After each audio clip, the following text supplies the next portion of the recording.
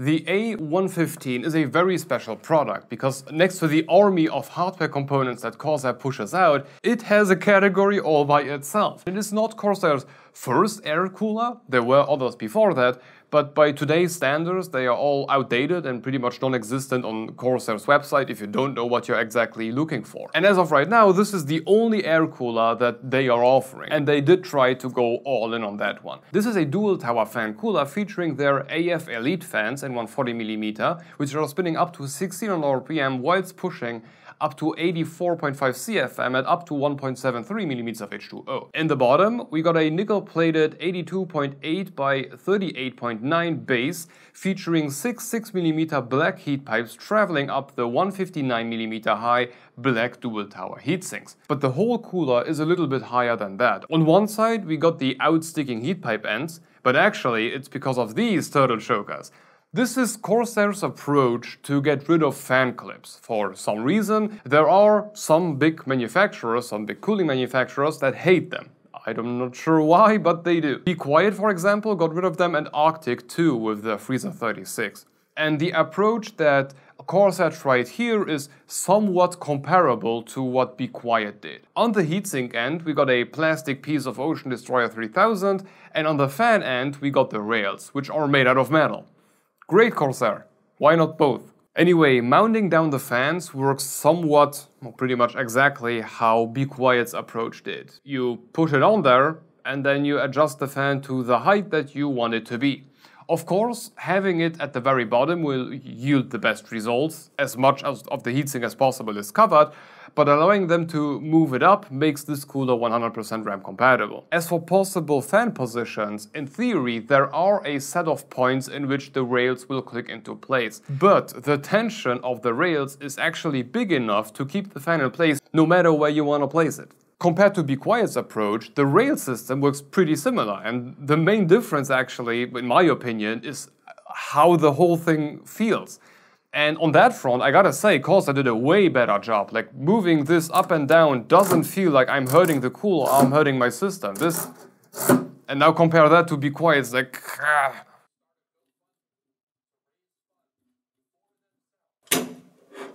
And because these are standard fans, these are also standard holds, which can't be said about the Dark Rock Elite. There everything is pretty much custom. And even if you can technically remove the central fan, replacing it with anything that fits is, is, a, an, is an endeavor for itself. And the whole thing just ended up feeling like a whole bunch of like a whole bunch of plastic. This is definitely the better approach in that regard, and installing and removing fans doesn't feel as brutal as it did on the Elite, and I can swap out the fans for no matter what standard 140mm fan, I can do it. But that doesn't mean that Corsair didn't also do some random seeming stuff on here. First off, only one of the fans comes pre-installed with the rails which is just weird. You will need to install the rails on the second fan yourself, and installing them is one of the most confusing encounters I had this year. The rails are marked with left and right. Great.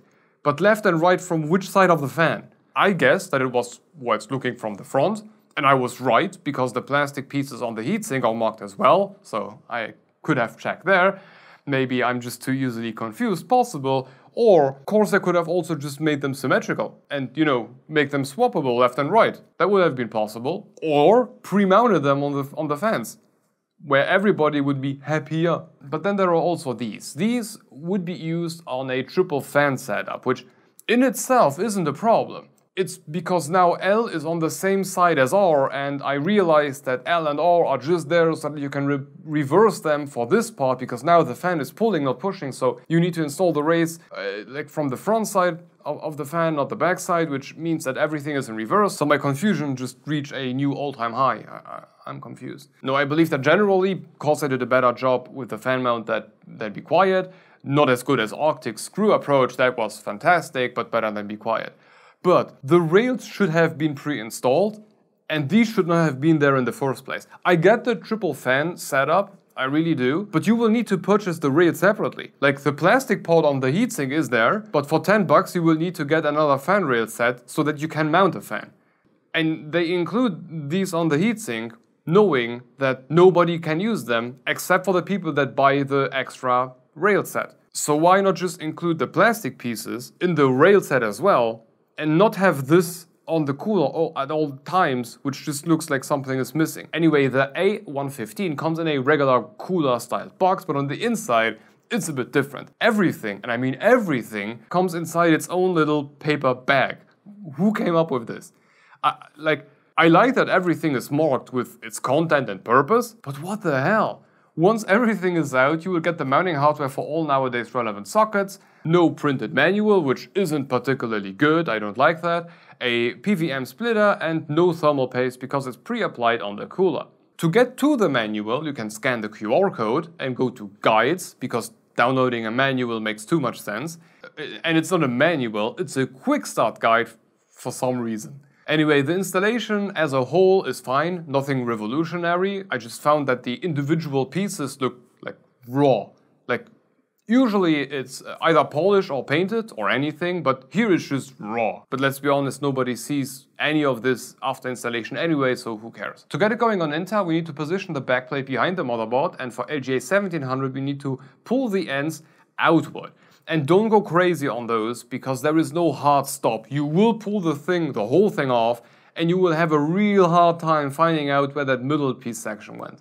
Once it's behind, we install the screws according to the socket with the black pieces on the motherboard end, install the retention brackets with the ends pointing away from the chip and screw them down using the thumb screws. For AMD, we remove the original retention brackets, replace them with the AMD spacers, with the thinner end pointing downwards, retention brackets pointing inwards on top and then screw everything down. From there just slap the cooler on top and screw it down and of course don't forget to mount the fans and connect the fans and install the rails on the fans because that they should have done it like at the factory. With pretty much everything about this cooler covered, including my confusion, let's get to the benchmarks. First, we tested it on top of our Intel 3900K machine using the usual three presets, 120, 250 and 320 watts. Then we slowly lowered the fan speed whilst noting down the noise and temps to create a noise to performance curve. At 120 watts going through the socket, the A115 performed very respectively at 31.8 degrees C above ambient. It is amongst the very best air coolers so far. Phantom Spirit, Ice Lead X7 Dual, Dark Rock Elite all performed within a margin of error. Close behind we have the Deepcool Assassin 4 followed by the Noctua NH-D15G2 which underperforms a bit at this lower workload. And overall for the A115, for very low workloads or gaming in general, very, very good. The noise to performance curve on 120 watts was also respectable. At the higher end, it was a bit louder than the other ones, or at least its max noise output is higher than all the other high-end coolers on the list. And as the speed drops further, it becomes better than the Assassin 4, staying very close behind the D15. Looking overall at 120 watts on the chip, it performs almost like a D15G2, just with a little bit more headroom which ends up creating a little bit too much noise. At 250 watts going through the socket, the A115's position didn't really change. It is still within a margin of error of the best coolers around, the only difference is now that the Elite started to gain a little bit of distance, and that the G2 finally woke up. But looking at the whole list, it is still really, really good and definitely capable of cooling down a high-end CPU. The corresponding noise to performance chart changes slightly. Now the Assassin 4 and Peerless Assassin are definitely behind, but the A115's ratio is now behind the Elite and Phantom Spirit and NH-D15 all the way through the run.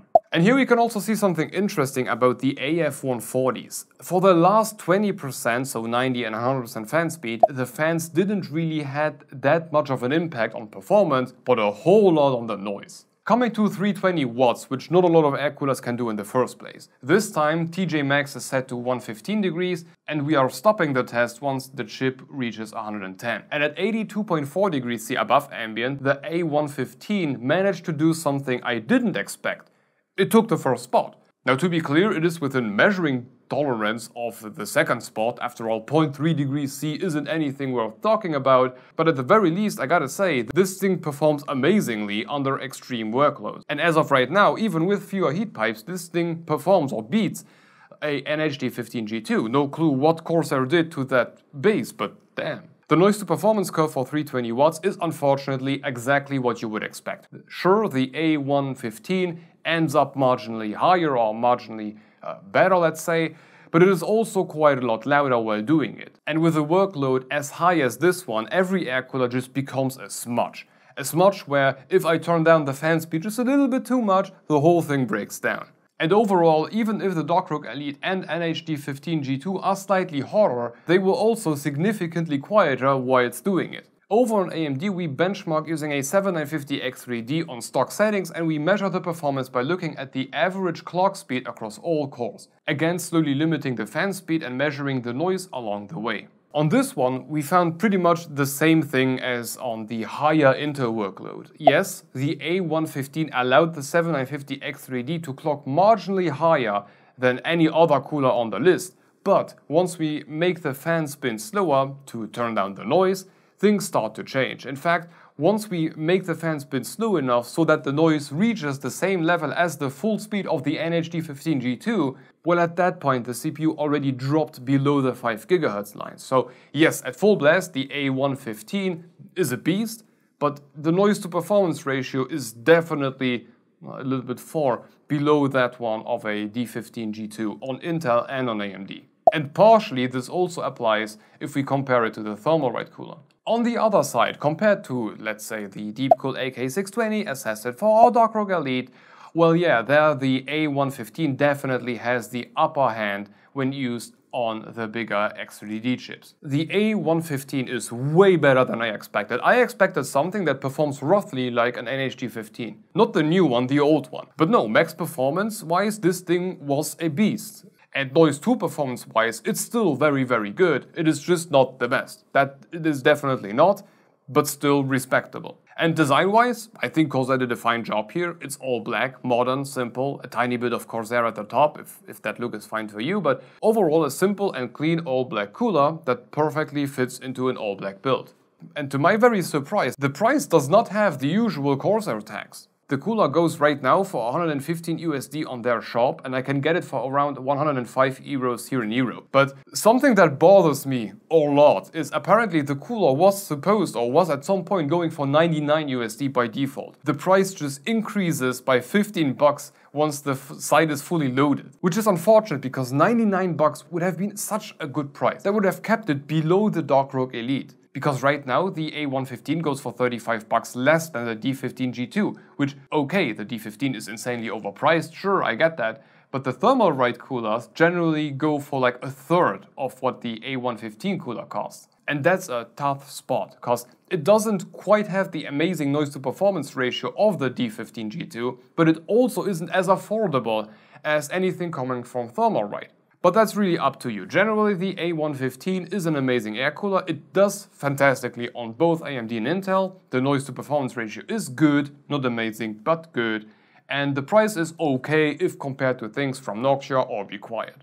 The only thing I would have wished for for the future is a print a freaking manual, nobody needs to go through this labyrinth, pre-install the second set of fan rails and get rid of this because people can't use it anyway, or out of the box anyway. But okay, this should be all for Corsair and their A115 and at this point a huge thank you to Corsair for sending it over. Oh, on a side note, we have a Discord server, so if you wanna join, the link is down below. And we got channel membership, so if you are planning to sell your soul for an RG poop emoji, that's one way to go. But if not, I'm also releasing the content to all members two or three weeks in advance except for the NDA stuff, because you know I, I don't want to get sued. Additionally, you can rest assured that the income will not only keep the channel afloat, but will also serve to paint these. They look way too raw. Anyway, thank you for watching and if you want to continue, have a look at our take on the Noctua NH-D15G2. Noise-wise, unbeatable until now.